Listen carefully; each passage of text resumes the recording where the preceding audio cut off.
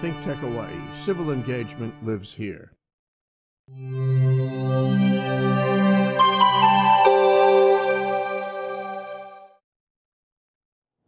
Hello, and welcome to Out of the Comfort Zone. I'm your host, RB Kelly, and today we're doing the show solo. Now, I wanted to start out by asking if you've ever heard something like this phrase it's bad to judge people. Have you ever heard something like that? Uh, often we quote it from scripture, even though the original text is actually about you shouldn't make bad judgments instead of you shouldn't make any judgments. When we judge people, we often feel guilty about it. And maybe when we say, oh, I don't like that person, someone else will say to us, you're being judgmental. As in, Q, you're a horrible person and you should stop. But what people don't seem to realize is that our brains are hardwired to make judgments. That's what they do. That is the sole purpose. Our brains are here to help us figure out what's good, what's bad, what we should do, what we should avoid. And our brains are like this because we are first class survival machines. You are here today because your parents and their parents and their parents and their parents and their parents and on and on in a freakishly long cycle survived long enough to pass on their genes. Think about it. Think you've got this unbroken chain of survival instincts coming to you from millions and millions of years. So your brain is designed to make judgments because it's designed to keep you alive. Now, our brains are busy. Thinking takes a lot of work. And so our brains like to take shortcuts whenever possible. And so this means our brains like to filter out all the information they can. But they have to walk that fine line. If they filter out too much information, then you might miss something important. If they don't filter out enough information, then you spend so much energy thinking you die. All right? So there's that balance our brains try to walk. They will ignore as much as they can, but they can't ignore too much. So our brains have this, this little bar that they'll judge things by. If something is good for you, bad for you, then they will bring it to your attention. If it doesn't fit any of those areas, meh, doesn't matter. You walk into a room, you don't notice uh, the color of the carpet, you don't notice the color of the walls, you don't check out the ceiling. You notice the people in the room. You notice if there's food. You notice if there's someone who looks like they're to kill you. You notice if there's a loose tiger walking around. You notice what's good for you and what's bad for you. But your brain tries to delete as much information as possible to save you time. And this is where judgments come in. Because once your brain makes up its mind, it doesn't want to reuse all that computing energy and change its decision. So once we make up our minds, our brains will cherry pick data in order to prove that they were right. So here's where I'm going with this. When you make a first impression, you're stuck with it. And that first impression happens very, very quickly. And if you don't come across as good for someone or bad for someone, you'll basically be ignored. Now, Mark Bowden did a really interesting TED Talk where he talked about the four categories that people are sorted to when they first meet someone. And I'm going to explain that a little further in depth for you. So, there are four categories, and we're going to count them out on our fingers so it's easy to remember. You've got this anywhere, anytime. The very first category that you might be sorted into when you meet someone is the friend category. Have you ever met someone and just instantly liked them? Something about this person came across as friendly, welcoming, and good for you. If that's ever happened, this is the category you sorted them into. Then there's this second category. This is the middle finger, right? This is what we use to flip people off. So if you've ever met someone and instantly disliked them, this is the category you've put them into. And it might be someone who maybe they look scary they look like they could possibly kill you and maybe they want to. And so you were like, ah, I'm scared of this person. I'm just going to stay out of their way. That's the predator category. Or maybe it's someone who feels like competition.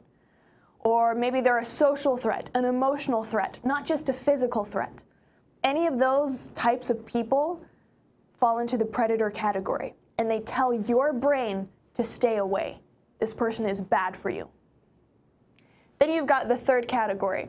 It's the potential romantic partner category. So if it goes well, they'll put a ring on it, right?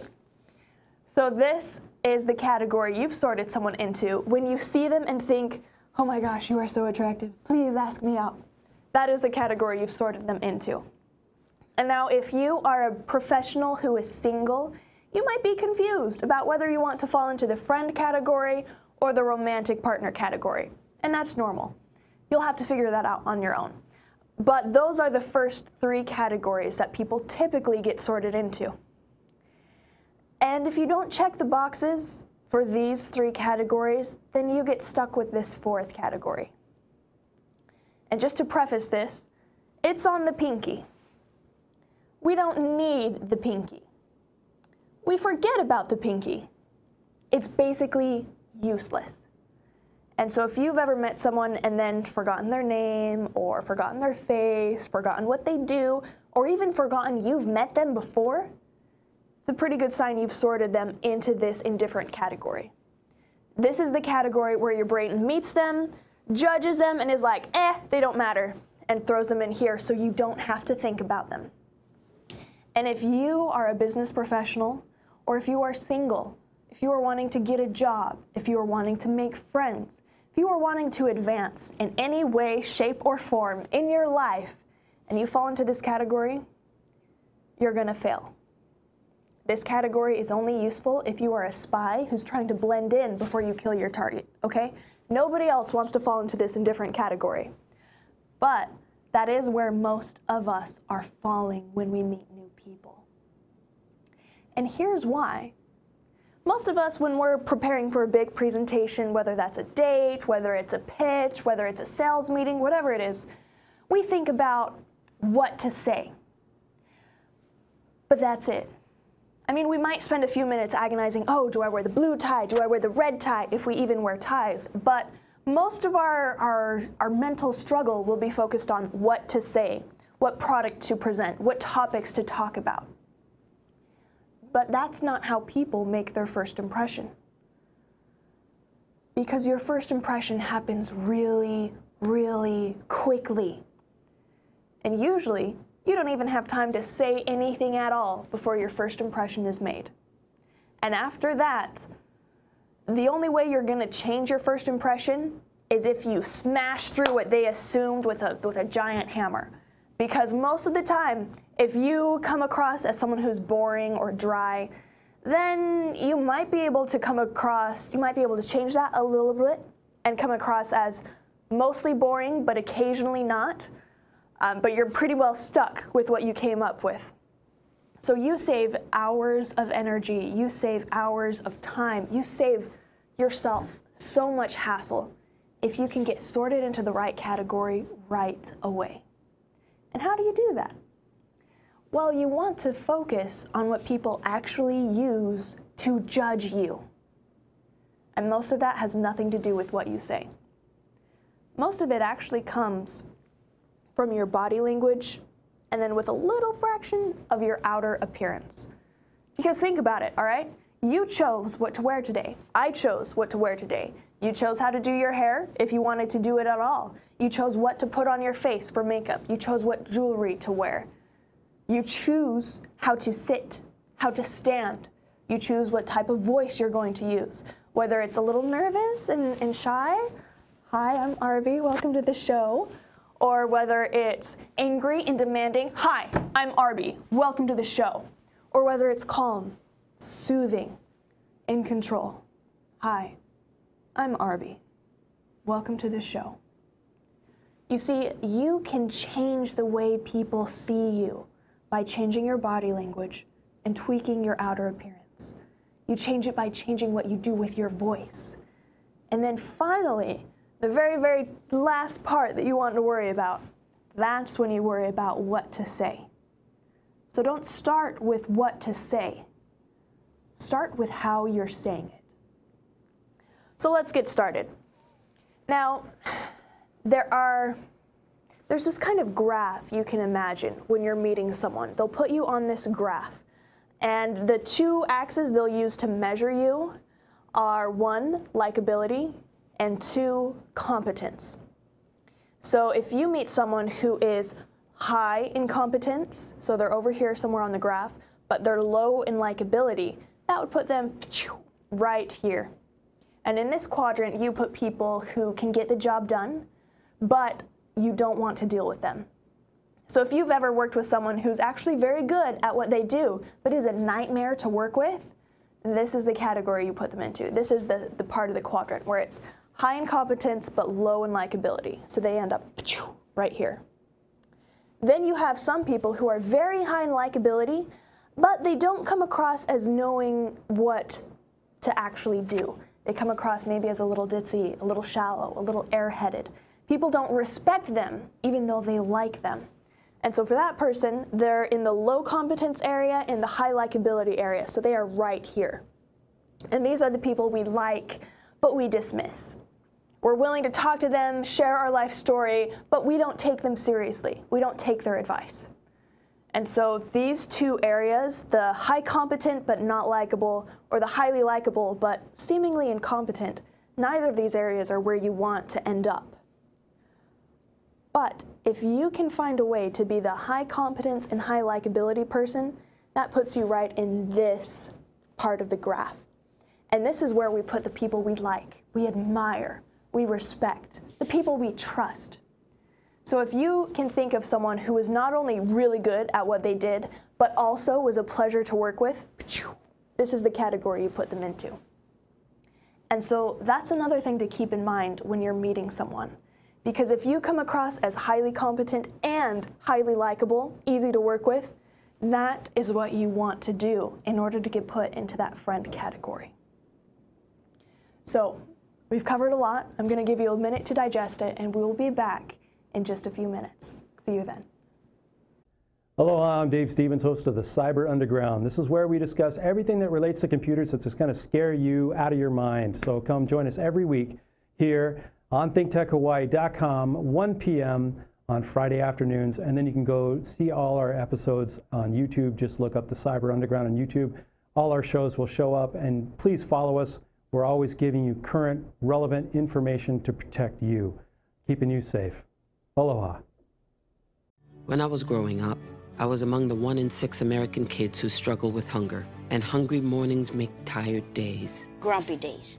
That kind of days. But with the power of breakfast, the kids in your neighborhood can think big and be more. When we're not hungry for breakfast, we're hungry for more. More ideas. More dreams. More fun. When kids aren't hungry for breakfast, they can be hungry for more. Go to hungeris.org and lend your time or your voice to make breakfast happen for kids in your neighborhood.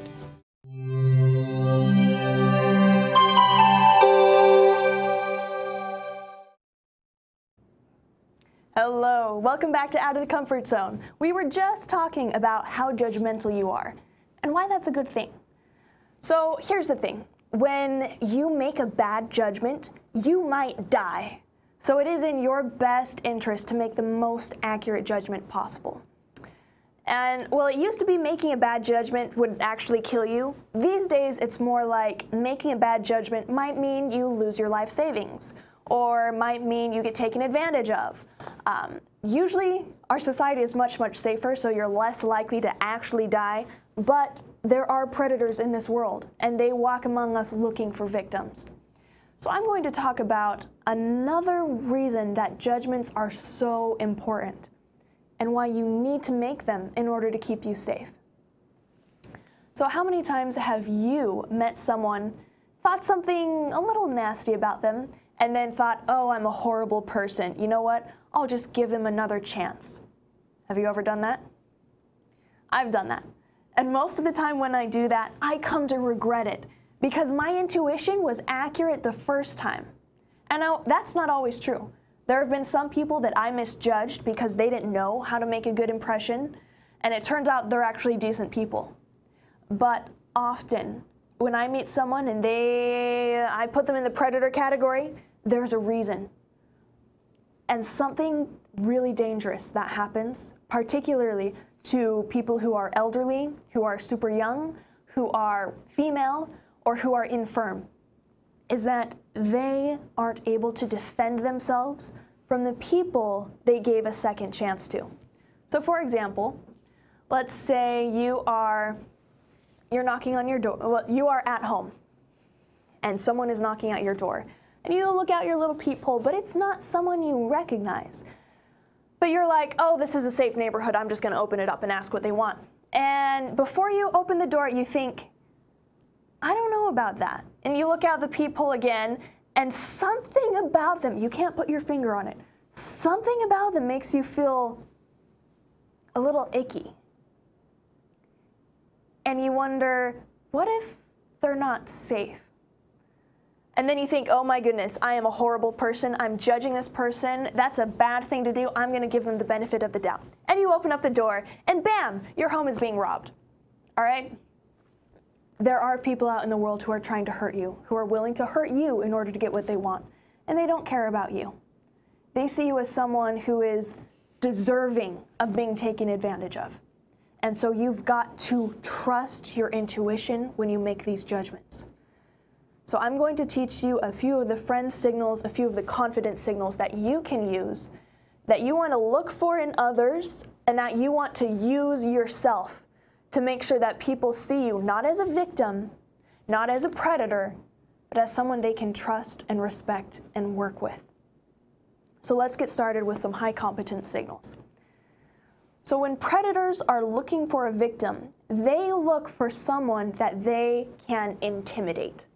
Now often, uh, there was a really interesting study that, that showed uh, criminals in high maximum security prisons videos of people walking on the streets. And the, the criminals were asked to choose their ideal targets. And one of the things the criminals looked for in order to choose a target was the way people walked. Just the way they walked, walking down the street, no big deal. It made a difference. Predators are more likely to look for someone who looks nervous, timid, a little bit scared, uncertain. Someone that they can steamroll over. And so if you are the kind of person who likes to hunch down, you sit hunched over, you have bad posture, you walk with your eyes down, this is someone that looks like an easy victim to a predator. So you want to make sure you straighten up, get that chin in the air, and spread out with your body. And you can use your limbs, your arms and your legs, in order to spread out. Because if you're tucked down like this, this doesn't work for anyone except the predator. So you straighten up, get taller, and get wider. So use your arms as you're walking, swing them, take up space. When you're sitting down, use them to claim the space in front of you. Now I'm going to demonstrate something on my desk that you might see uh, President Trump do, uh, which is a very interesting thing to see. So say, for example, I'm sitting down, this is a big meeting full of important people, but I am the most important person. I will find whatever is nearby me and I will push it away. So I'll be like, nope, this is in my spot. Nope, this is in my spot. And I'll like push things out of my way. And what I'm doing here is I'm using them to take up more space. And I'm clearing things out of my personal bubble and I'm establishing the size of my personal bubble. And here's a secret. The more space you have, the more capable, confident, threatening you are. All right? Because Think of animals, all right? Animals in the forest. Whoever has the biggest territory has the best chance to find food, find a mate, stay alive. And it's pretty similar with humans. So you want to make sure you are confidently claiming your space.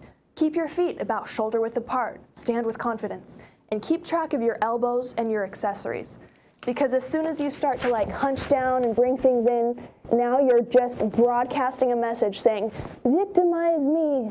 And that's not what we want. That's the last thing we want. So straighten up, keep track of your elbows, and try and get them away from your body whenever possible. Because this claiming of space says, I'm a winner. I can take care of myself. And if you try to mess with me, it's not going to go well for you. So that's the first thing take up more space because predators look for losers. And I say that because an interesting study studied Olympic athletes who were winners and losers. And they studied these athletes who were both seeing and blind. and the athletes who won races, seeing or blind, would spread out and take up more space. But the athletes who lost would hunch over and slump down.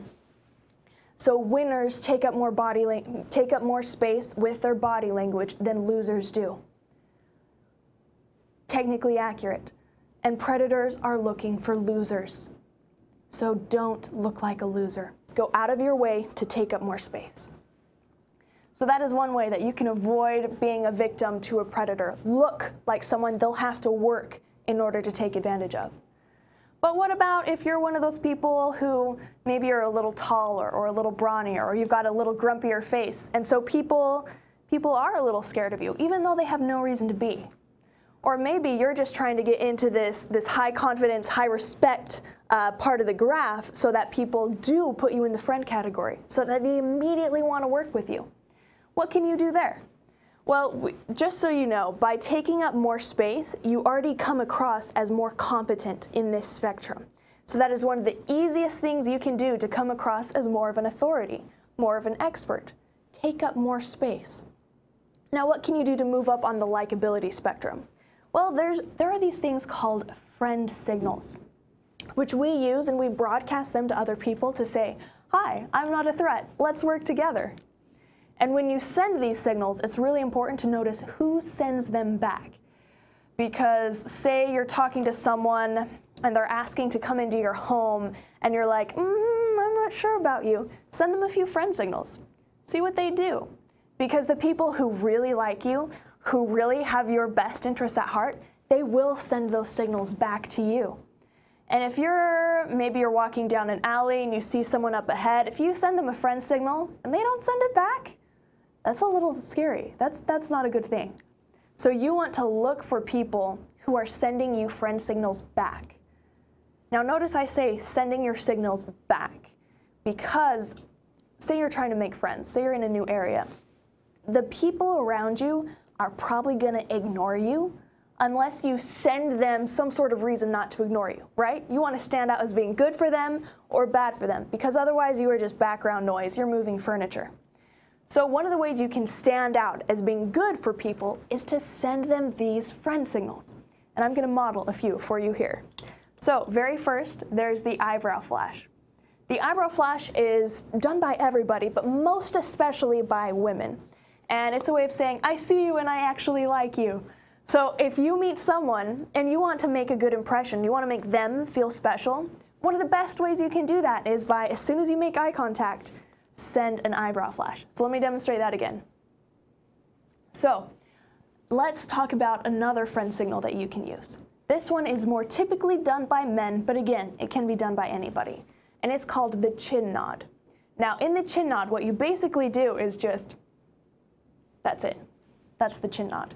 But you do need to be careful because if you pair the chin nod with like angry eyebrows, then it becomes more of a threat and so you want to make sure you're pairing it with another friendly signal like a smile or an eyebrow flash. That makes it much friendlier and less intimidating. So those are just two friend signals that you can use that you want to send to people as soon as you make eye contact.